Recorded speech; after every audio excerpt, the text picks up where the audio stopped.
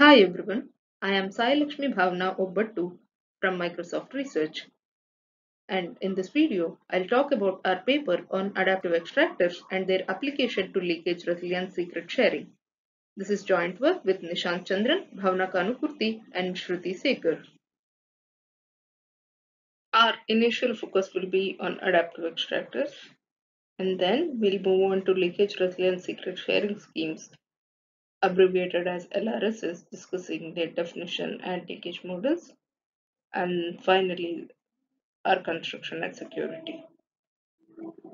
Before understanding adaptive extractors, let's first see what extractors are.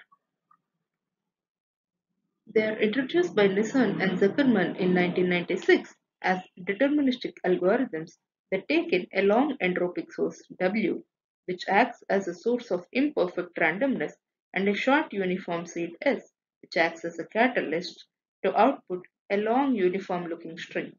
Formally, the extractor output is guaranteed to look indistinguishable from uniform even given the seed, and this guarantee holds true even in the presence of some arbitrary leakage on W. Throughout this talk, by indistinguishability of two distributions, we mean that the distributions are statistically close. An implicit requirement in the above security guarantee is that the leakage on W is independent of the seed S and the challenge, which is either the extractor output or the uniform string. Why not allow the dependence? Because the leakage function could be such that it takes in WS and the challenge and checks if the challenge equals the extractor output or not helping to distinguish with very high probability. So, is this the end of the story? Well, in this work, we demonstrate that this is not the end of the story by introducing adaptive extractors.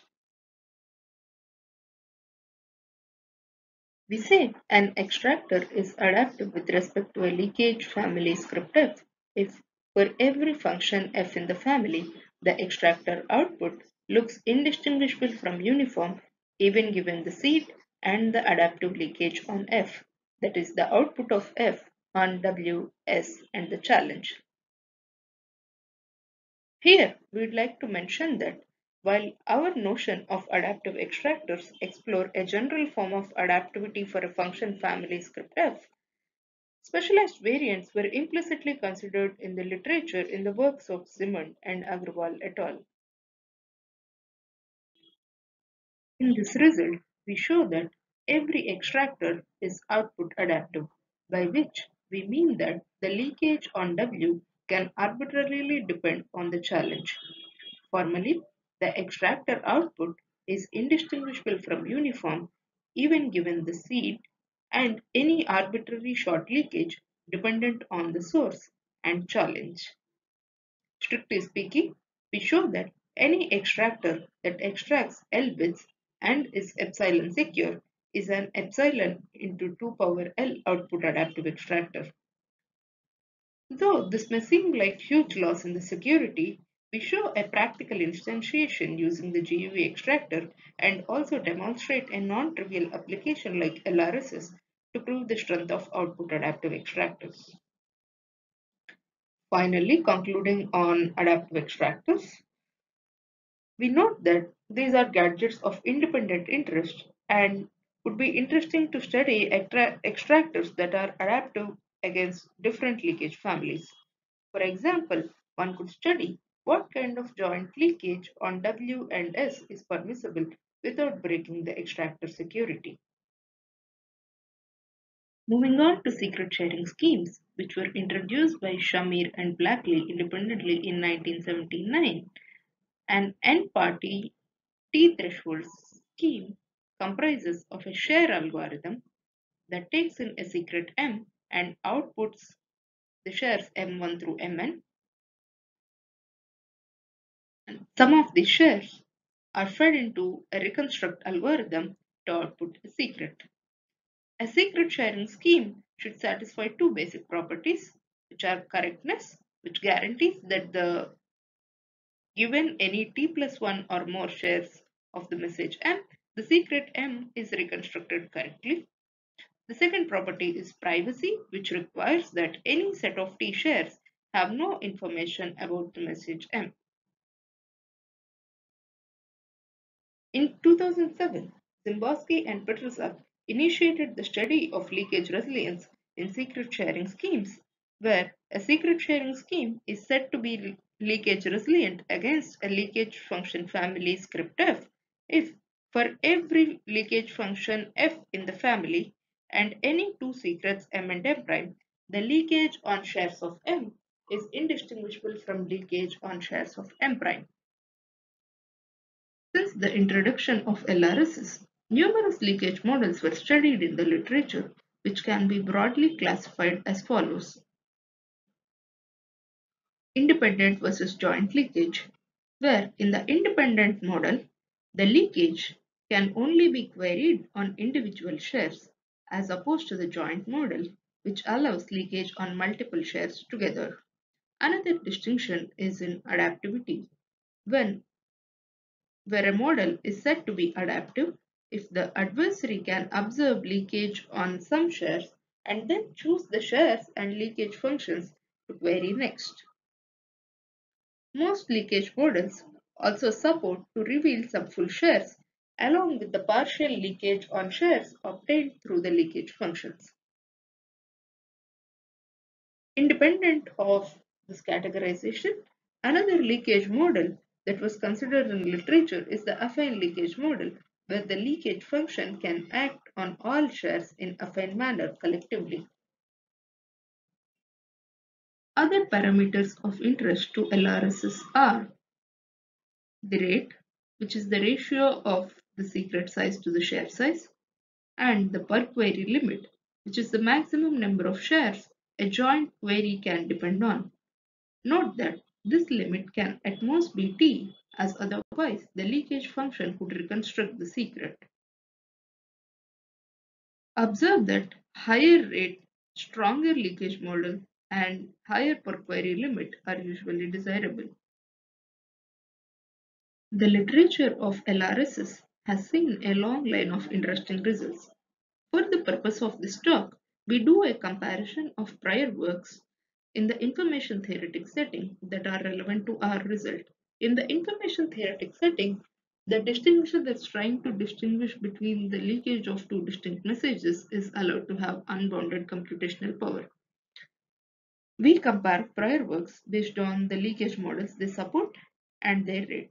From the perspective of rate, the result due to Srinivasan and Vasudevan has an impressive rate of one-third supporting the basic leakage model, namely the independent and non-adaptive leakage model. From the perspective of leakage models, Chattopadhyay et al. and Kumar et al. support the strong leakage model, namely the joint and adaptive leakage model. They also let the joint queries to be overlapping, letting the adversary to ask leakage on a share multiple times. But observe that even for any restricted setting of an NT, there is not even a constant rate LRSs for any model other than the independent and adaptive leakage model.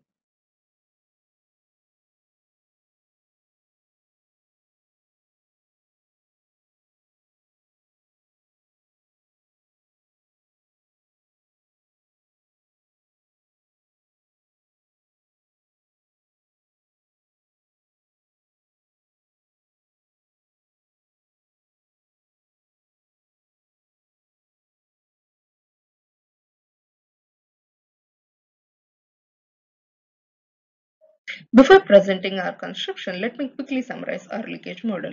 We divide the leakage into two phases, the leakage phase and the reveal phase, where in the leakage phase, the adversary can first ask for partial leakage on shares and get back the leakage responses. And after the leakage phase in the reveal phase, he can ask for full shares and get them. All these queries can be made in a joint and adaptive manner on all n shares such that each query set is of size at most t, which is a necessary requirement. And the second requirement is that all query sets have to be non-overlapping across the phases. Our construction has uh, two simple building blocks. an anti uh, which are an anti-secret share scheme and an output adaptive extractor X. Recall that an output adaptive extractor guarantees that the extractor output looks uniform even given leakage uh, even given short arbitrary leakage on the source and the challenge. Let's look at a simple construction that serves as the base for our main construction, which supports leakage from T-shares and reveals T-more shares. We would like to mention here that the following construction can be thought of as a clever adaptation of adaptive extractors to SV19's construction that supports only individual and non-adaptive leakage. We denote this sharing algorithm as base share the message M is firstly secret shared into shares M1 through Mn. Each Mi is masked with an extractor output on a fresh source Wi and a seed S chosen uniformly. The masked Mi appended with a seed share Si and the source Wi forms the ith base share denoted as BSHI. Think of the construction as follows. The message M is first shielded by a, a secret sharing scheme and then each share of the scheme is further protected by the extractor outputs in the base share scheme.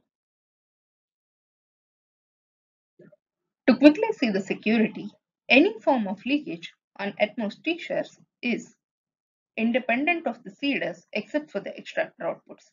This is by the privacy of the scheme sharing the seed S which further imply independence of the leakage from MIs and M. This follows by output adaptivity of the extractor, which guarantees that leakage on the sources and the masked MIs is indistinguishable from leakage on the sources and the uniform strings. Now that the responses in the leakage phase are independent of MIs, the construction can afford to leak T new MIs and hence BHIs.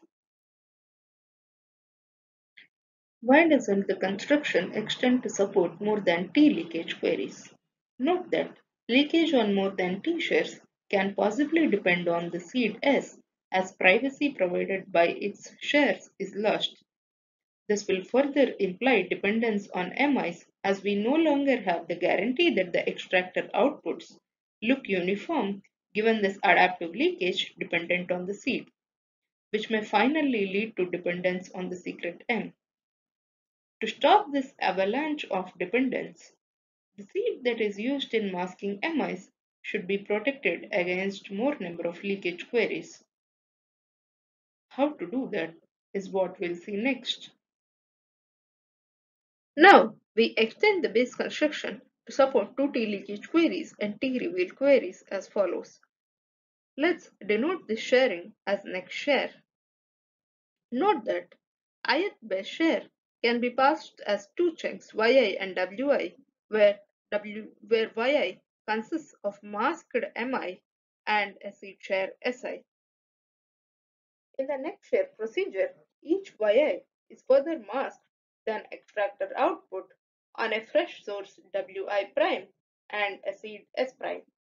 Note that the source and seed are independent of the sources and seed used in generating the base shares.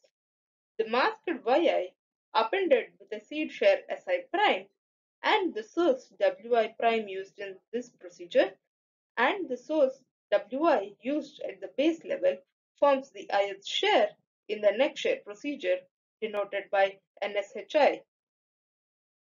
To see why this extra layer of masking with fresh extractor outputs work, observe that the first set of T leakage responses are independent of all YIs by the security of extractor on the seed S prime. The reasoning is similar to the security of the base share and hence won't be repeated. The second set of T leakage responses may possibly depend on YIs, but we show that this leakage on NH, this leakage on next share can be reduced as leakage on the base shares, which we have already discussed to be independent of MIs in the, while discussing the security of base shares. Finally, as in the base construction, since any leakage in the leakage phase is independent of all MIs, T many shares can be revealed and cleared in the reveal phase by privacy of the scheme sharing M. To summarize, we support any required number of leakage queries by increasing the number of layers of masking. For the sake of completeness, I'll quickly go over the final H-level construction that supports HT queries in the leakage phase and T queries in the reveal phase for a tunable parameter H. Firstly, the secret M is NT-shared into shares M1 through Mn. Then, for every layer J from 1 through H, we sample the sources W1j through Wnj and the seed Sj uniformly. Further, each seed is secret shared. To generate each party's share, the share Mi is masked with an extractor output to get Y1i, which is then appended with the seed share S1i and the source W1i to form the first level share. Y1i and S1i are together then masked with a fresh extractor output to get Y2i, which is then appended with the seed share S2i and the sources used up to this level which are W2i and W1i. All these together form the second level share and this process continues up to H levels to derive the final share I. With this, we conclude the discussion on our construction and security and briefly tell you how we instantiate the building blocks in our construction. We instantiate the secret sharing schemes with the Shamir secret sharing scheme and then instantiate the output adaptive extractor the GUV extractor. I'll now conclude the talk with a brief mention of applications of LRSs, which are leakage resilient secure message transmission, where a message has to be transferred from one place to another via leaky channels, and leakage resilient non-malleable secret sharing schemes, where non-malleable secret sharing schemes guarantee that even if some shares are tampered, the reconstructed secret is either unrelated or same as the original secret. Using our LRSS construction, we show how to construct an LRNMSS in the joint leakage and independent tampering model. We refer the audience to our paper for any further details. Thank you.